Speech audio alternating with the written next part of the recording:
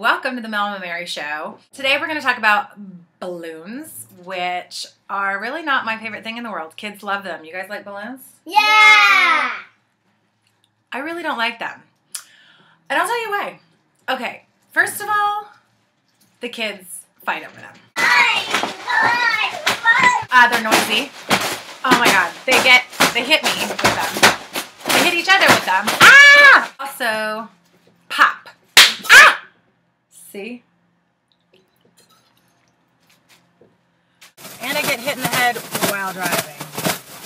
They also float away.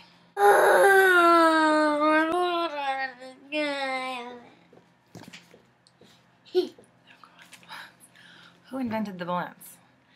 Somebody that was not a mother. Clearly.